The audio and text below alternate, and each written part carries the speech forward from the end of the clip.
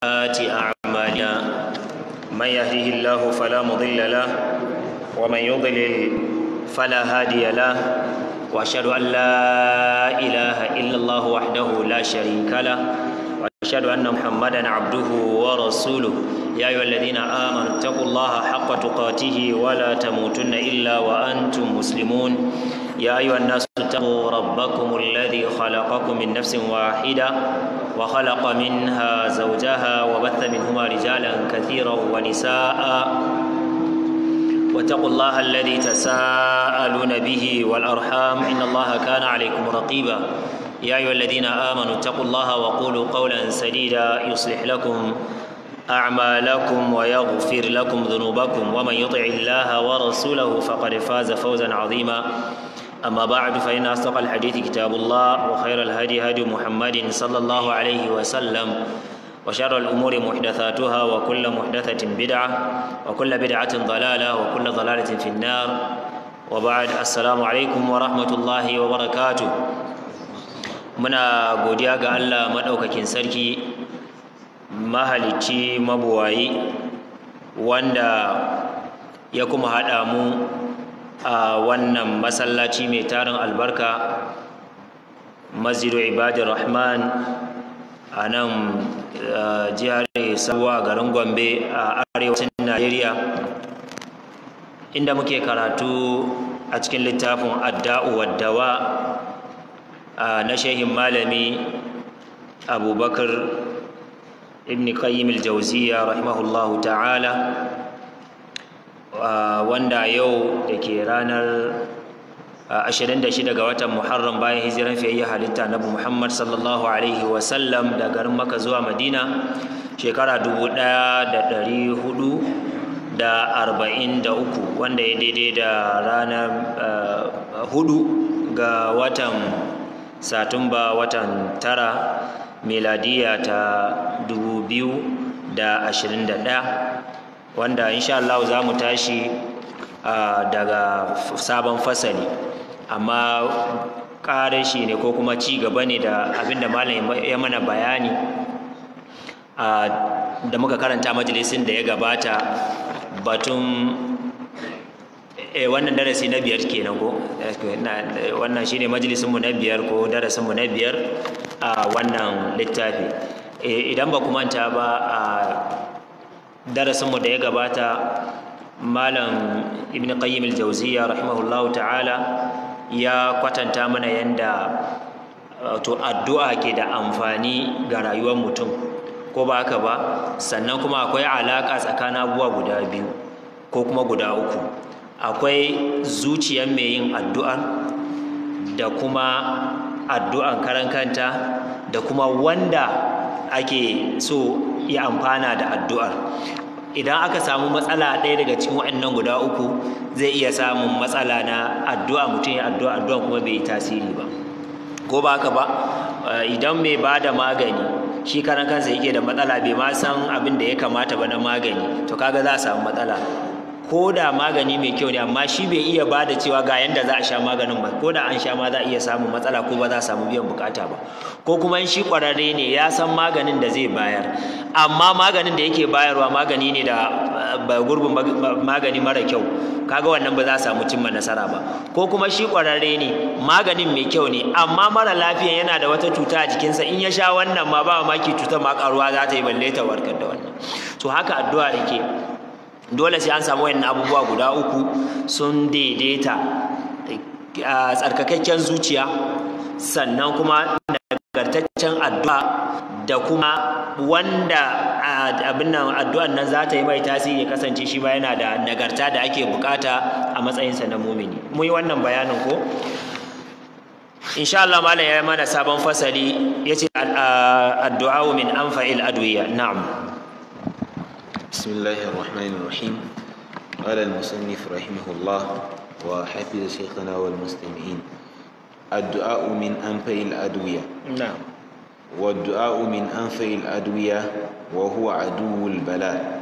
يدافعه ويعالجه ويمنع نزوله. نعم. ويرفعه أو يخففه إذا نزل. نعم. وهو سلاح المؤمن. نعم. كما روى الحاكم في صحيحه من حديث علي بن أبي طالب رضي الله عنه قال نعم. قال رسول الله صلى الله عليه وسلم الدعاء سلاح المؤمن نعم. وعماد الدين ونور السماوات والأرض. na'am mala yake cewa addu'a'u min anfa'il adwiya. Addu'a na daga cikin mafi amfanin maganin da za kake buƙata.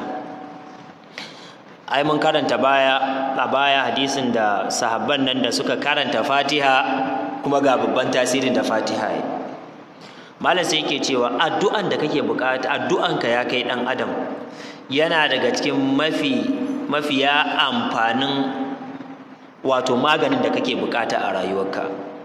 Sawa'un abin da kake ji da cewa damuwa ko cuta ta shafi cutar zuci ne ko ta shafi cuta ko da na gangan jiki.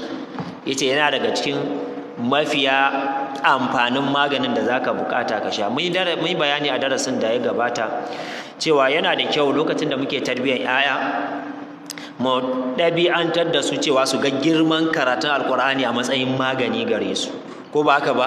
Yaro ya saba cewa abu ya same shi ya karanta fatiha ya karanta qul huwallahu cewa ba wai sai bala'i ko abin nan ko na rashin lafiya na jiki ne mu yi wannan bayanin to malam ibnu qayyim nan sai yake cewa wa du'a'u min anfa'il ah, adwiya wa huwa aduwwul bala'i. Yake cewa addu'a yana daga cikin mafiya amfanin magani da ɗan adam yake buƙata. Kuma shi abokin gaba ne ba sa ga maciji da bala'i da ke saukarwa mutane. Bala'u kala-kala da suke sauka to babban wato abokin gaban bala'i shine me? Shine addu'a. Kamar addu'a ba abin nan bala'i ba ta son addu'a. In dai akwai addu'a kamar bala'in nan ba za ta samu gindin zama ba. Wannan shine ma'anan. Yadfa'uhu ya ce addu'a takan tunkuɗe wato bala'i wa yu'alijuhu kuma yakan warkar da bala'i tunkuɗe bala'i kafin aukuwan bala'i.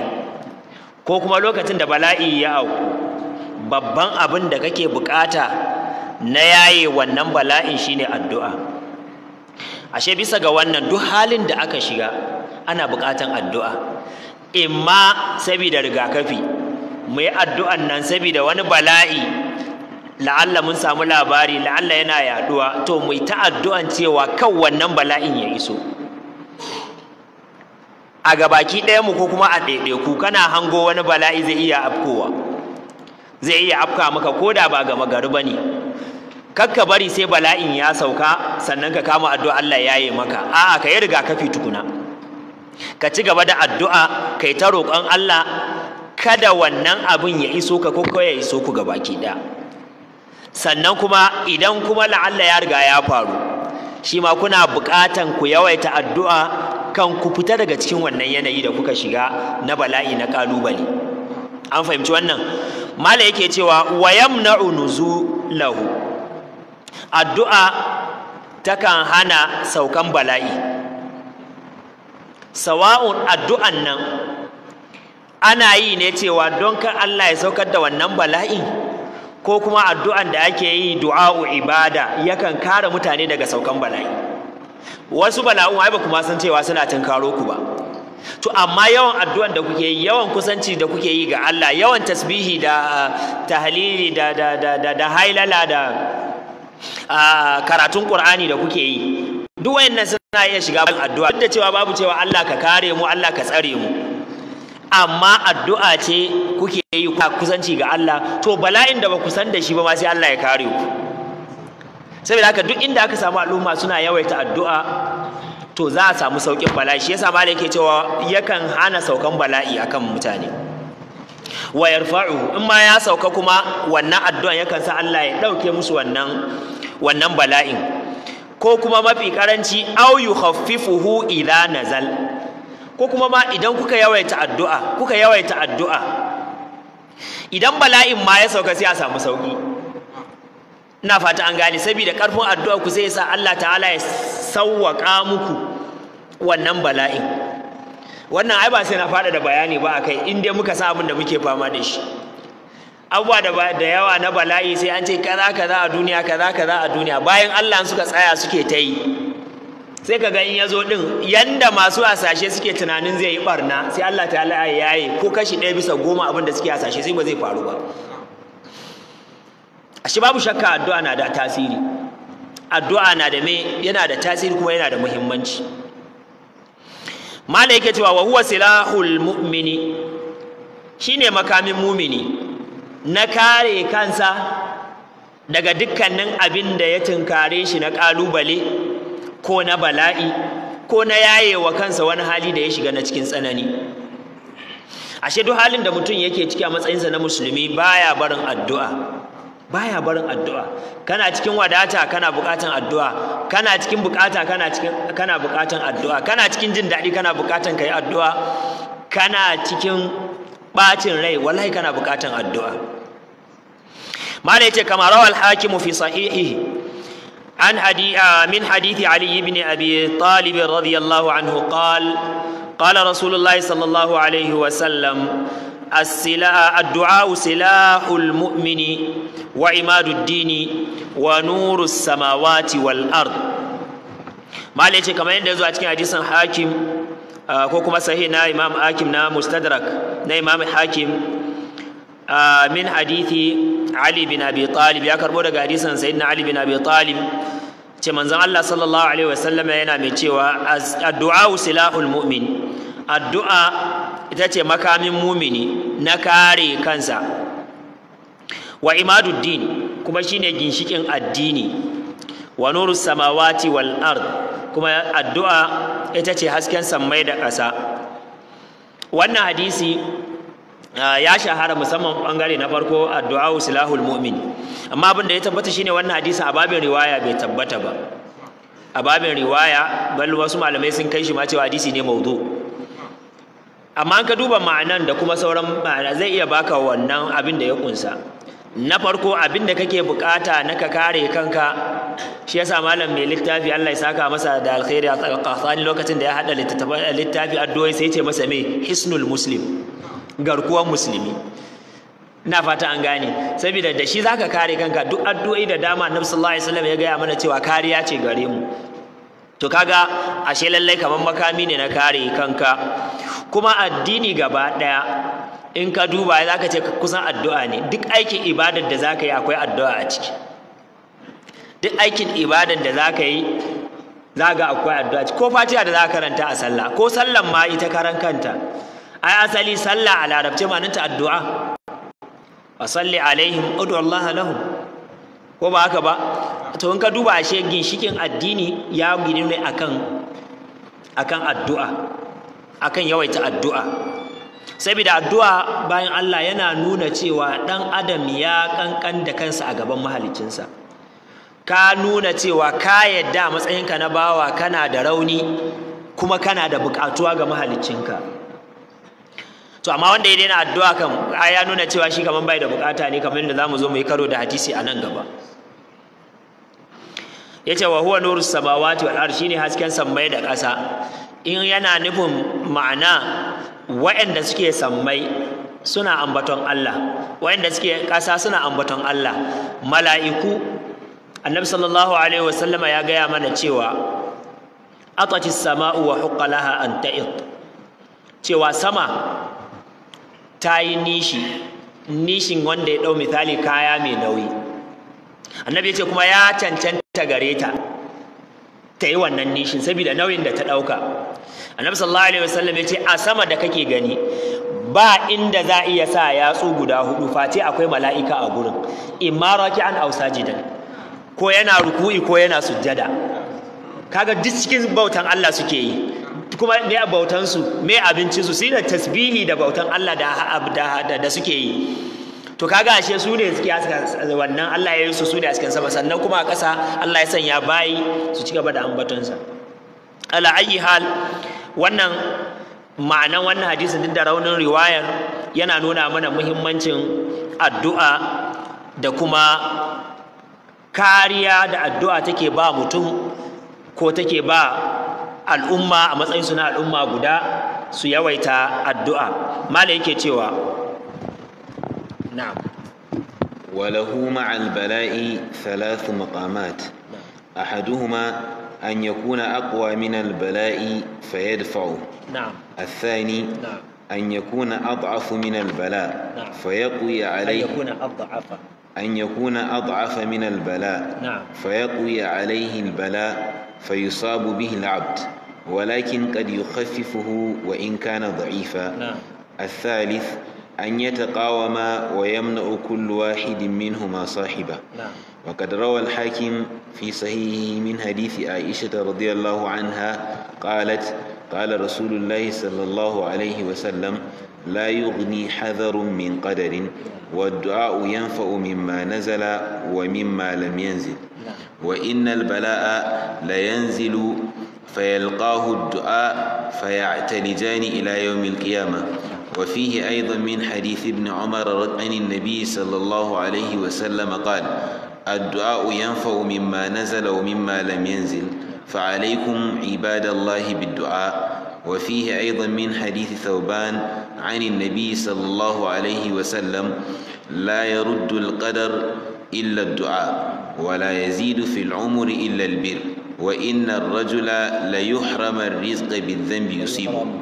ليحرم الرزق بالذنب يصيبه. la yi harama ya ka faɗa daidai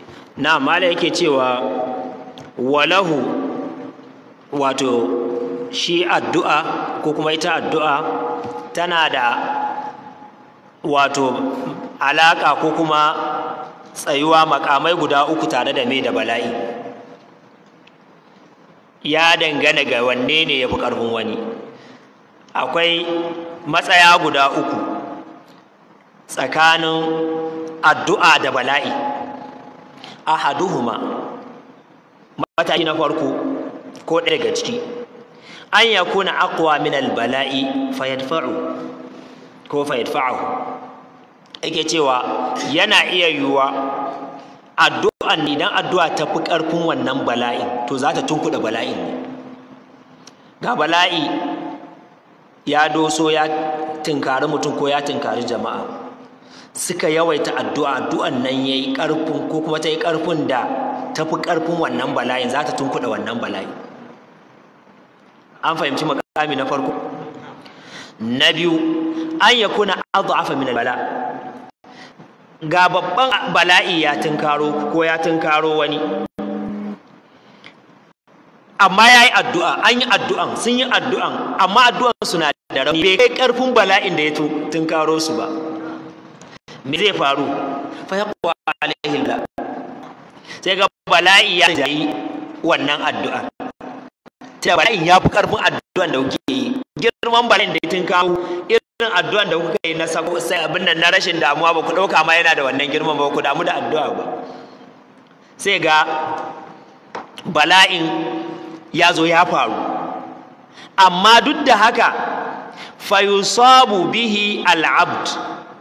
Sai ga bawa wannan bala'in ya same shi. Duk da ya yi addu'a amma raunin addu'arsa tana wannan bala'in ya yi ƙarfin me? Ya fi ƙarfin wannan addu'ar da yake yi sai bala'in ya afku. Walakin amma duk da haka qad yukhaffifuhu wa in kana da'ifa. Addu'an nan duk da bata kai ƙarfin ta tukuɗa bala'i ba bala'in zai faru. Amma wannan addu'an duk da raunin addu'an yakan iya sassauta wannan bala'i. Zai faru amma a samu sauƙi Allah ya ƙara mana zaman lafiya.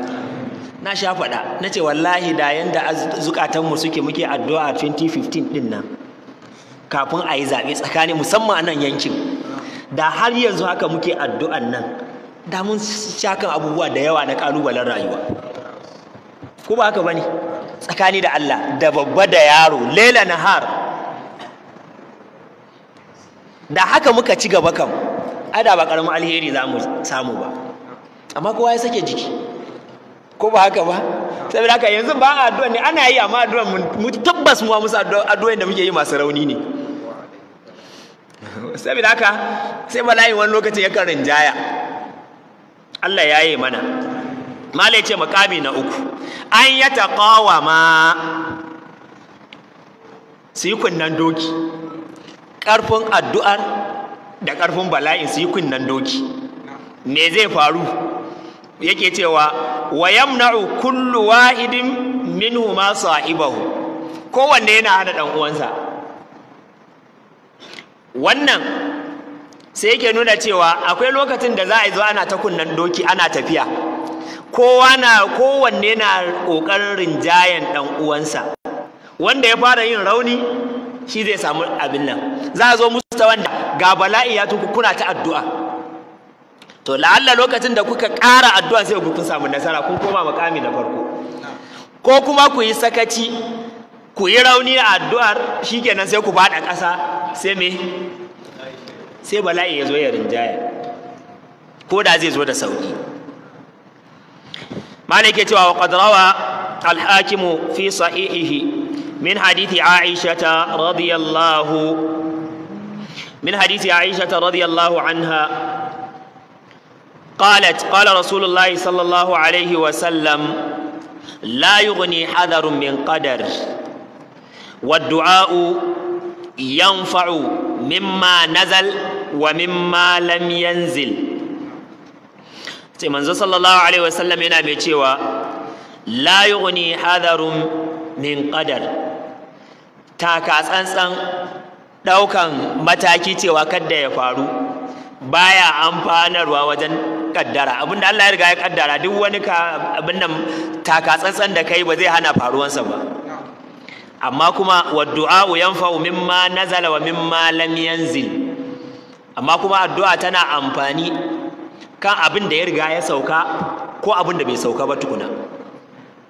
Imma ya sauka ka Allah ya dage ko kuma bala'in bai riga ya sauka ba kai addu'a sai ga Allah ta'ala ya yi mai ya kare mutum daga wannan.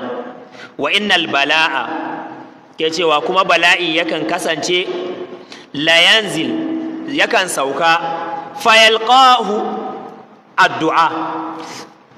Bala'i yakan sauko yana hanyar saukowa ai addu'a kuma haurawa take yi.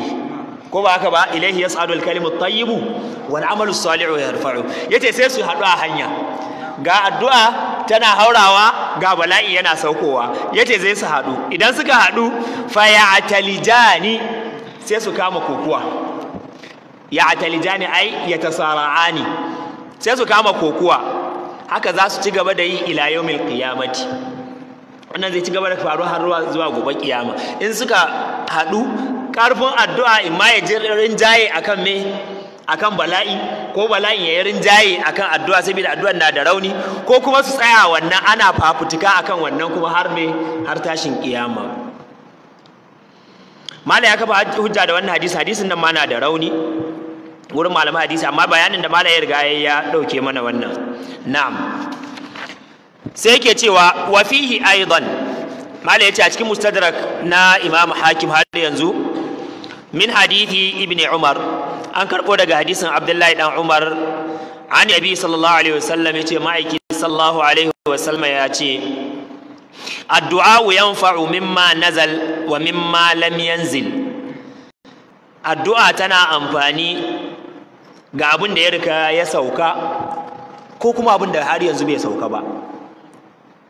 Wanda ya riga ya sauka zai amfani wajen me wajen yaye wannan bala'i ko kuma wanda bai sauka ba zai addu'a wajen zai yi amfani wajen me? Kare shi daga sauka. Fa alaikum ibadallahi biddu'a saboda haka ya ku bayan Allah ku yawaita addu'a ku ci gaba da addu'a. Kada ku yi sakaci ku ce to yanzu mun bala'i ai ya riga ya sauka. A'a ku yi addu'a sai Allah ya yi muku. Ko kuma ku ce ai to ai babu komai yanzu ai ba komai ba ne sai ku roki Allah ku ci gaba da roƙon Allah ya kare ku. An fahimci wannan? Wannan hadisin ma na da rauni. Ma'ana yake cewa wa fihi ayat min hadisi thauban an nabiyyi sallallahu alaihi wa sallam la yaruddu al-qadara illa ad-du'a. Annabi sallallahu alaihi wa sallam mala ya ce a cikin mustadrak hakim har yawa yau daga cikin hadisin thauban annabi sallallahu alaihi wasallam ya ce la yaruddu alqadara illa du'a ba abin da yake koran kaddara yake mai da kaddara sai addu'a. Wala yazidu fil umuri illa albir babu abin da yake ƙara wa mutum tsawon rayuwa sai dai me sai dai biyayya. Wa innar rajula lalle zaka ga mutum la yuhrama rizqa bi dhanbin yusibu. Mutum zai iya kasance sanadiyan zunubin da yake yi sai Allah ta'ala ya hana shi arziki. Saboda zunubi zunubi sai ya ɗebe masa arziki.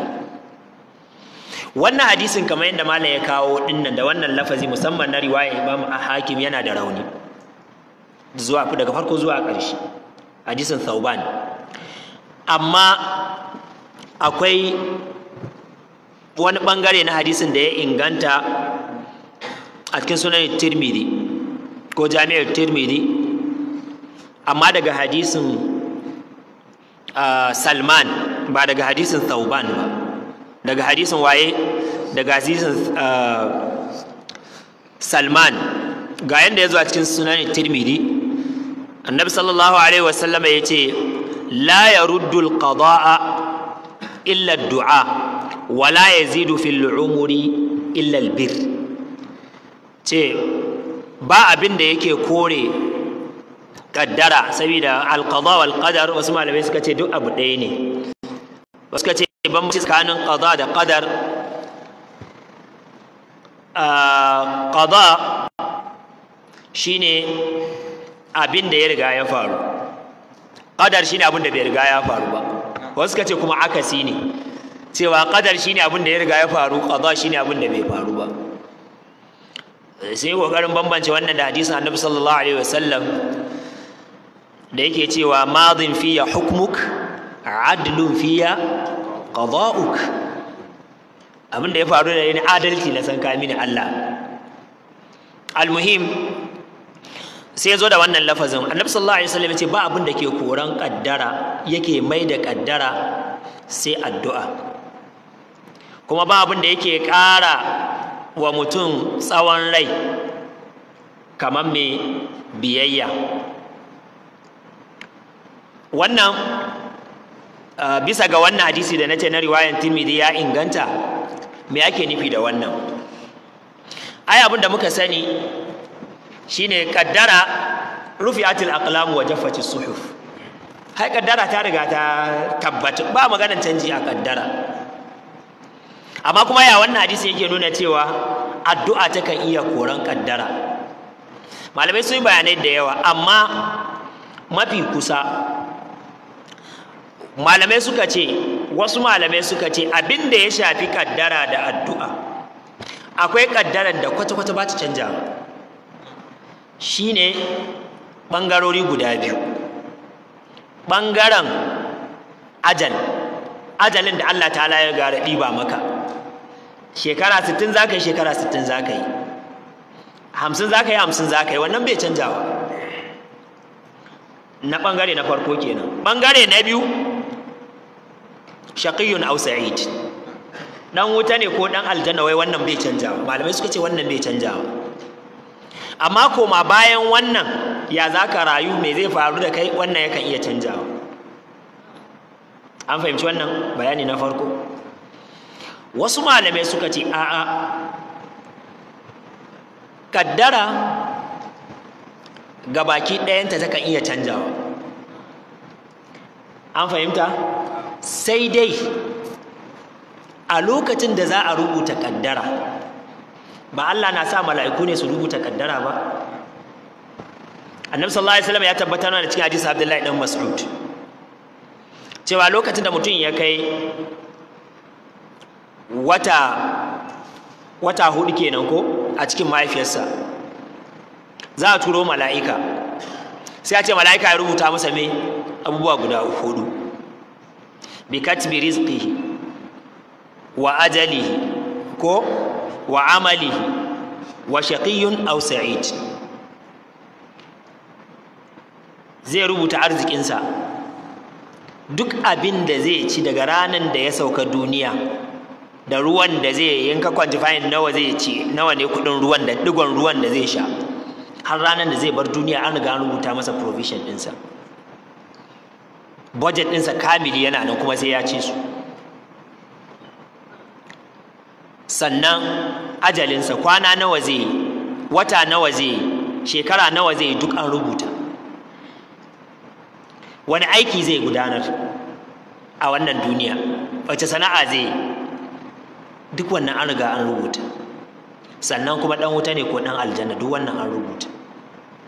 A ƙarshe sai ce rufe yatil aqlam wa jaffati suhuf. An riga an silin wannan.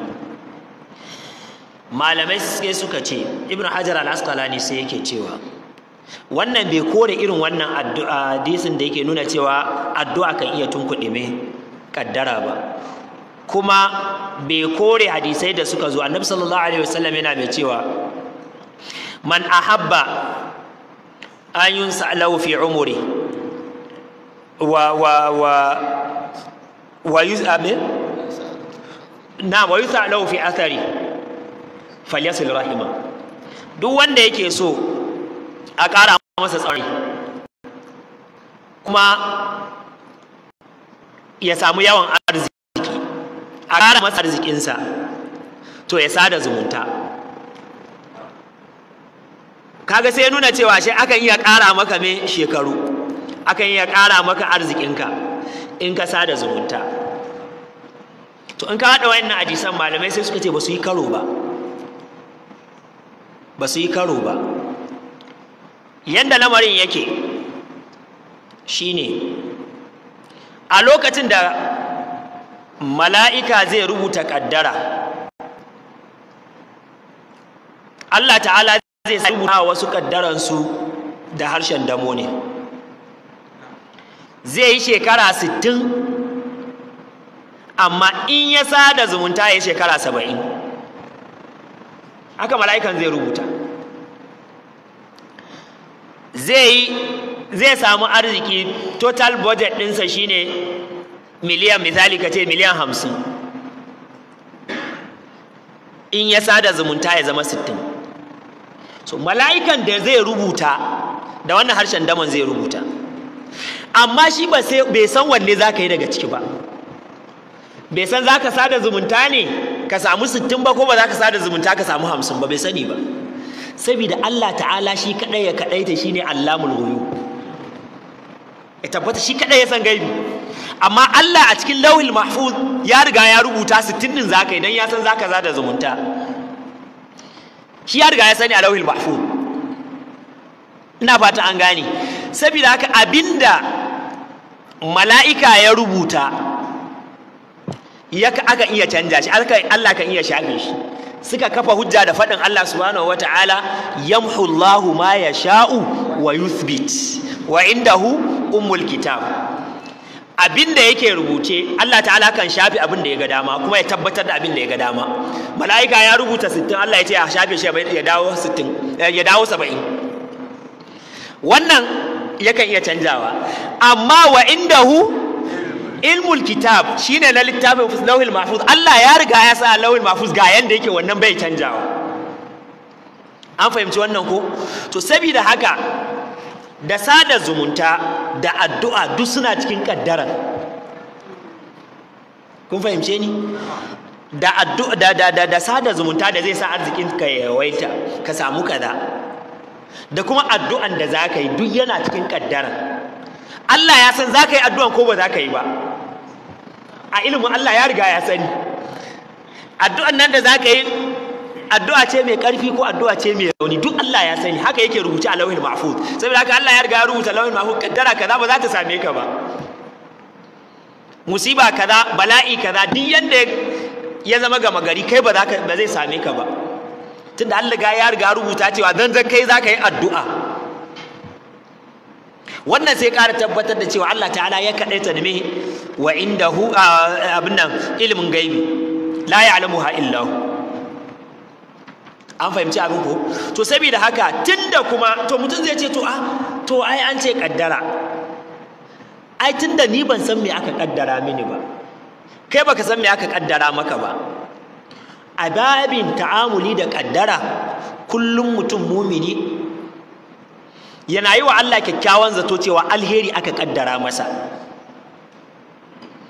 Tunda a rayuwar duniya mu haka muke yi.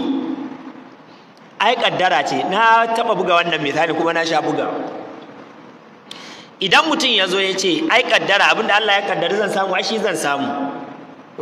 Ba ba sai na wahala ba. A zaɓi ai Allah ya ba mu zaɓi. Kakan iya zaɓa abin da kake so na rayuwar duniya.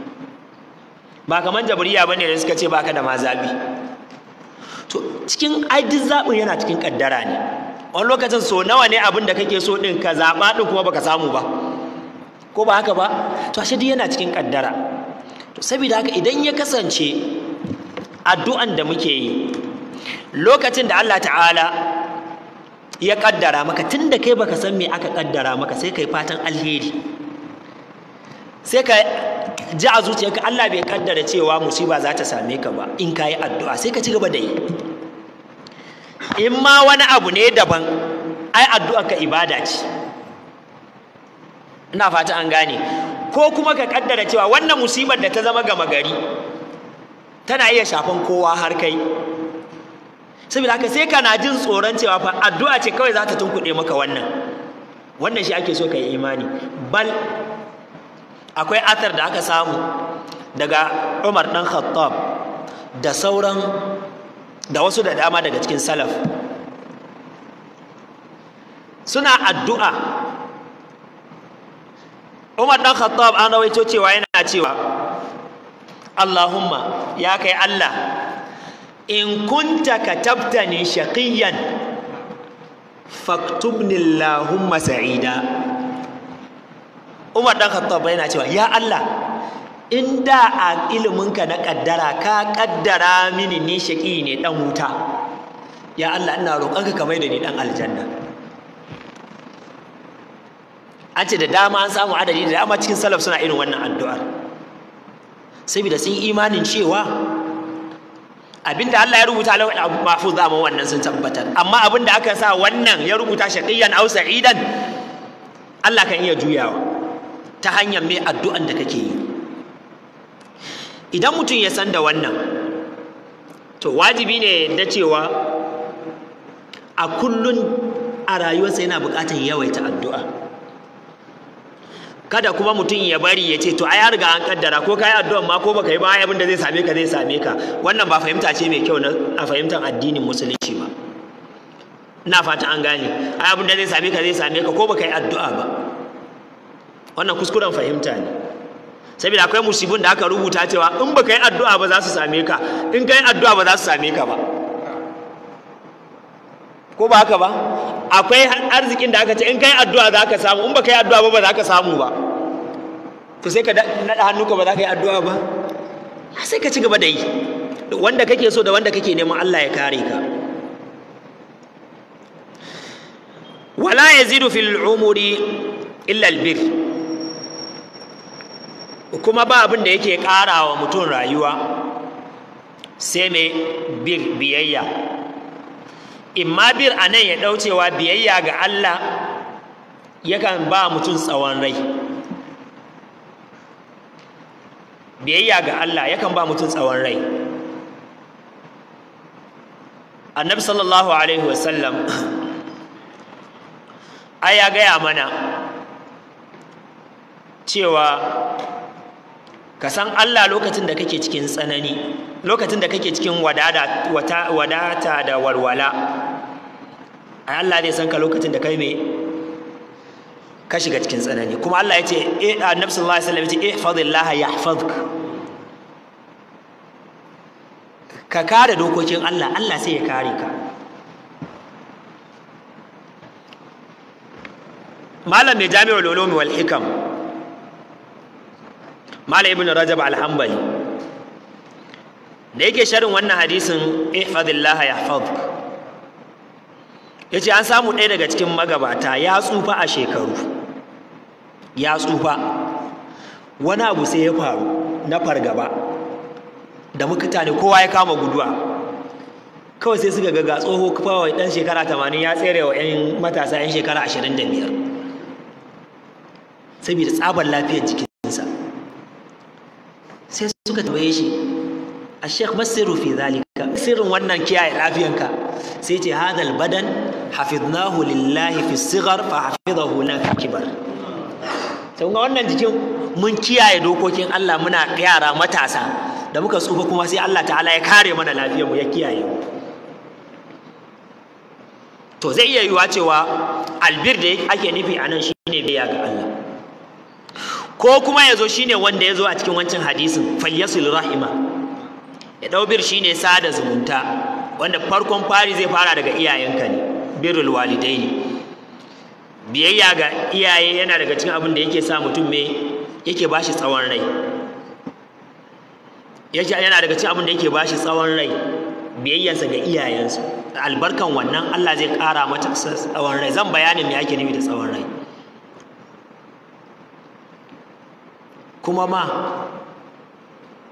abin da ya kamata mutum ya sani ga wayanda Allah ta'ala ya sa iyayensu suna nan da rai har yanzu. Musamman uwa.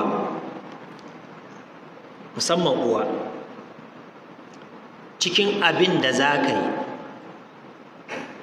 ka samu sauƙin kankare maka zunubanka shine biyayyar da kake yi wa mahaifiyarka. Biyayyar da kake yi wa mahaifiyarka. Ya zo a cikin adabul mufrad na ilmamul bukhari rahimahullahu ta'ala. Wataran wani mutum ya je gurin abdullahi dan abbas radiyallahu ta'ala anhu ya ce ya malam na zo tambaya na aiwata wani babban zunubi wanda nake ganin da ƙyar allah ya gafarta mini. Ibnu abbas ya ce me zunubin da ka yi? Ya ce akwai wata bayar Allah ne a danginmu mun haɗa dangantaka da ita dangantaka ta jini amma akwai aure tsakaninmu. Ina matuƙan ƙaunanta ina matuƙan santa sai na buƙaci an aure ta amma sai ta ƙi duk hanyar da na bi in gamsar da ita ta so ni ta yadda aure ta sai ta ƙi. Sai wani ya zo bare ba danginmu ba ne sai ta ƙaunace shi sai ta aure shi. Ce da wannan ya faru wannan kishin sai ya ɗibe ni. Sai na fake ta wataran kawai sai na halakar da ita sai na kashe ta ba kawai kowa ma ya rasa. Ce wannan shine ta'asan da na yi. Saboda haka me zan yi? Allah ya gafarta mini. Sai abdullahi dan abbas ya ce a hayyun ummuk mahaifiyarka na da rai? Tana nan da ranta? Sai mutumin da ya ce la. Ce a'a ba ta da rai. Abdullahi dan abbas ya ce to ci kenan ci gaba je koma ka je ci gaba da istighfari la Allah Allah ya gafarta maka. Sai mutumin nan ya tafi. Almajirai da suke kewaye da abdullahi dan abbas sai suka yi tambaya ya rasulullahi ne abdullahi ya malam mutum ya yi kisan kai kana tambayansa mahaifiyarsa na da rai. Me alaƙan wannan da wannan? Sai abdullahi dan abbas ya ce wallahi na rantse da allah inni la a'lamu amalan yukaffiru allahu bihi sayyi'at ka walida. Ce wallahi ban san aikin da mutum zai yi allah yake saurin kankare maka zunubanka kamar biyayyar da kai wa mahaifiyarka. Ashe duk wanda har yanzu mahaifiyarsa na da rai har yanzu kana da dama mai yawa kana da dama babba wanda kuma mahaifiyarsa ta rasu Allah ya ji kansu gaba ki da to saboda haka wannan sai shiga cewa cikin silatul rahim sada zumunta iyaye za su shiga cikin tsawon farko wanda wannan yana ƙara wa mutum tsawon rai. Sannan sauran 'yan uwanka da kuka haɗa dangantaka da su. Silatul rahim sada zumunta tsakaninka da su yakan ƙara ma tsawon rai. Sada zumunta wani zai ce aini tun daban da abin da zan ba su shine yasa kawai na manta da su. Kuskure ne ka yi tunanin cewa sada zumunta shine kuɗin da za ka ba su. A danginku akwai mutane da yawa da ba sa buƙatan kwabanka kai abin da yake so kullum ka zo ka mai gaisuwa. So ɗaya mako ka tuna da shi. Yana nesa ka wata ranka niki gari ka ce kawai baba na zo maka wuni ne yau a ƙauye. Sai ya ji daɗi. Wannan shi kaɗai yake buƙata wurinka. Wani wallahi waya kawai yake so to ɗaya wata shida ma kama kira shi a waya ka gaishe shi. Ka ce baba babba kawai na ce wallahi kwana biyu ba mu gaisa ba ne na ce in gaida kai. Abin da yake buƙata ku kenan. To wanda ya yawaita irin wannan zai samu me? Annabi ya ce yana cikin abin da ke tsawaita maka rayuwa. Daga ciki abin da har yanzu silatul rahim ne. Ga falala na sada na biyayya ga iyaye. Wata ran wani mutum ya zo ya tambaya annabi sallallahu alaihi wasallam ce ya rasulallah ma'ana ka faɗi falala masu yawa na mutum ya girmama iyayensa ya musu biyayya. Ce ni matsalar ita ce duk iyayena sun rasu. Ni ya zan riski wannan falalar? Annabi sallallahu alaihi wasallam yake cewa abin da ya rage maka har yanzu kana iya samun daraja da falalan kayi wa iyayenka biyayya. Ta yaya ya ce duk zumuntan da sai sanadiyansu ake sada wannan zumuntan ka ci gaba da sadarwa. Ka girmama abokanansu ka girmama waɗanda iyayenka ke girmama su. Za a ci gaba da rubuta maka lada mai biyayya ga iyayensa. Duk wanda tijo da kasan mahaifinka na girmama shi. Musamman irin mutanen da nan zai yi wuya a yi sati guda mahaifinka bai je ya gaishe shi ba. To wallahi ka sa cikin ajanda kai ma za ka riga zuwa. Ko da bai kai irin na mahaifinka ba dai amma kana zuwa. Ka san wata tsohuwa tana nan a kullum ko kowane juma'a ne mahaifinka zai sa gashi na naira ɗari a kai mata. Ka san da ire-irensu. In kana so ka ci gaba da samun moriyan biyayya ga iyayenka to ka ci gaba da sada irin wannan su zumunta an fahimci wannan? Wani mahaifinsa na da hali yana taimakon jama'a. Shi lokacin da mahaifin ya rasu shi koransu ma yayi. Fati kun san ku ba yan gidan nan ba ne ko? Kowa ya san daga ba akwai su. Allah ya tsare mu daga irin wannan ɗabi'a. To me ma'anan cewa za a ƙara masa arziki? Za a ƙara masa mai tsawon rai. Wasu malamai suka ce hadisi ala zahiri. A zahirinsa haka yake. Kamar yadda malam ibnu hajar ya ce za a rubuta da harshen dago. In yayi wannan ya samu wannan in yayi wannan ya samu wannan. Wasu malamai suka ce kuma a'a ba wai ƙarin kwanakin za a ƙara masa ba ba wai ƙarin shekaru za a ƙara masa ba ba wai ƙarin arzikin daga miliyan hamsin ya dawo sittin ba ne ba shi za a masa ba. A albarka Allah zai sa masa a rayuwa. Sai ya shekara arba'in a shekara arba'in wallahi sai ya cimma abin da ordinarily mutum sai ya kai shekara saba'in kafin ya cimma su. Mutane sai su rasa taya. Shi wannan speedy development din ta ina ya samu. Ko Allah ya albarkace shi. Ce wannan dan yaron ina ruwan Allah? Ka san me yi tsakaninsa da Allah? Saboda haka abin da a rayuwar mutane al'adance sai mutum ya kai shekara 60 70 kafin ya ci musu. Shi sai ya ci musu shi yana dan shekara 25 zuwa zuwa 30 saboda wannan abin da ya Allah ya albarkace shi kama an ƙara masa tsawon rai kazalika arziki. Sai ka ga mutum a ce ɗan yaron nan ya mallaki kaza ya mallaki kaza ya mallaki kaza. Ta hanyar halal. Wanda al'adance a yadda aka sani ai sai mutum ya kai matsayi kaza ya kai shekara kaza kafin ya iya tara irin wannan. Allah sai ya bashi la'alla albarkan biyayyarsa ga iyayensa Allah sai ya albarkaci dukiyarsa. Sai ka ga lokaci guda ya tara abin da zai na ɗaya kenan ko kuma albarka ita ce ba ƙarin arzikin ba ba ƙarin adadin arzikin da zai yi ba. Albarkan da zai sa Allah zai sa masa. Sai kaga in yana da dubu goma sai ya biya bukatan da al'adance mutum sai ya samu dubu ashirin da biyar kafin ya biya bukatan akwai wasu da za ga Allah ya musu albarka ke. Sai kaga kuna payroll ɗaya salarin ku ɗaya ya fi ka nauyi ya fi ka kaza ya fi ka kaza. Amma ƙarshen wata shi har rariya ya samu ma yana adashe kai kuma sai ka ƙara da bashi. Ba a samu ne. Da yawa. La'alla shi biyayyarsa ga iyayensa Allah sai masa albarka a wannan arzikin. Shine me? Wa yufsahu lahu fi ajal fi fi, rizqi. Lahu fi rizqi. An yawaita masa arzikin kenan. Saboda haka sai ga duk abin da ya samu dan kaɗan ne. Sai ya ce fa ah a lokacin government yake aiki fa? Amma kaga gidan da ya gina ko ba wanda ya taba sanin cewa yana wani almundahana albarka ce. Kai da albashinka ya ninka nasa sau goma har yanzu gidan haya kake. Ko fili mai kyau ma baka mallaka ba. Albarka ce.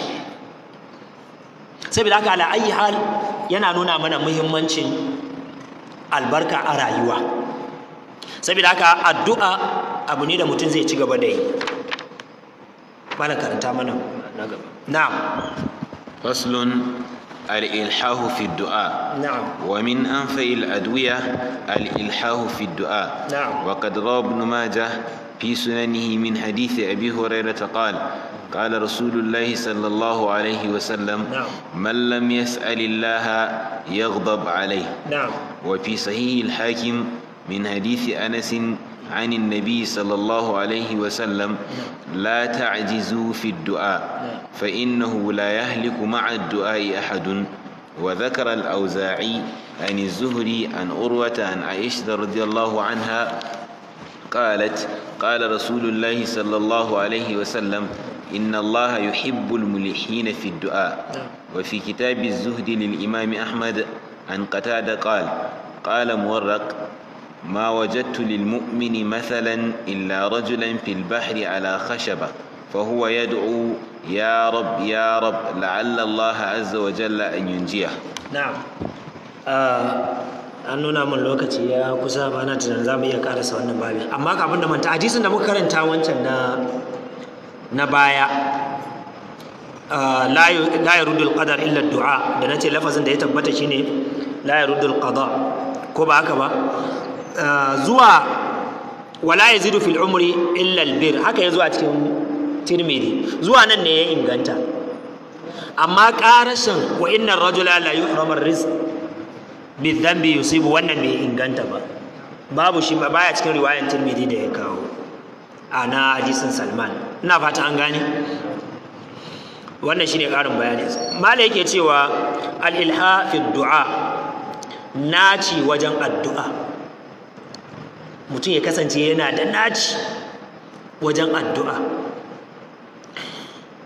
Mana yake cewa wa min anfa'il ad'iya al-ilha'u fi du'a. Cikin abin da yake sa addu'a ta fi mutum amfani ko kuma cikin magani da ya fi amfani shine mai nacewa wajen addu'a. Kai ta gaya wa Allah kai ta gaya wa Allah. Ka nace kai ta gaya masa. Wannan babin na da matukan muhimmanci. Dan adam in bai fahimci addini da kyau ba ka duba yadda yake nace wa ɗan adam yana sa abagun amma ɗaya bisa goman wannan baya nace wa Allah. Kuma haka ba? Wani ma har ka ga cewa kana ganin samaran ka sai ya ɓaci tsaban naci. Amma bai nace wa Allah wannan. Ba abu ka ina samun sa wani kullum kama ba shi uzurin cewa ka yi haƙuri wallahi yau abin da ce don Allah ka dai nemo wani abu kaban ni din ma inda nake yau ɗin nan ni ma baya ba halin ce ka dai samu wani abu don Allah. Amma ko baya nace wa Allah irin wannan. Mala ya ce cikin magani da yafi kowanne amfani nacewa wajen yin addu'a. Kai ta gaya wa Allah kai ta maimaitawa. Ka roƙe shi a sallan asuba ka roƙe shi da azhar ka roƙe mas abu ɗaya ne. Ka tashi da dare kai ta gaya wa Allah. To haka ake addu'a. In Allah ta'ala ya kai mu majalisi na gaba saboda lokaci na ganin za mu tashi daga kan wannan babi saboda mu tashi daga babin nan wannan fasali din insha Allah. Allah ta'ala ya sa mu dace. Allah ta'ala ya karɓa mana addu'o'in mu. Allah ya yaye mana bala'u. Allah ya ba mu arziki mai albarka Allah ya tsare rayuwarmu da addininmu اللهم اقسم لنا من خشيتك ما تحول به بيننا وبين معصيتك ومن طاعتك ما تبلغنا به جنتك ومن اليقين ما تهون علينا مصيبات الدنيا ومتعنا بأسماعنا وأبصارنا وقواتنا ما أحييتنا واجعله الوارث منا واجعل ثأرنا على من ظلمنا وانصرنا على من عادانا ولا تجعل مصيبتنا في ديننا ولا تجعل الدنيا أكبر همنا ولا مبلغ علمنا ولا تسلط علينا من لا يرحمنا. سبحانك اللهم وبحمدك أشهد أن لا إله إلا أنت أستغفرك وأتوب إليك.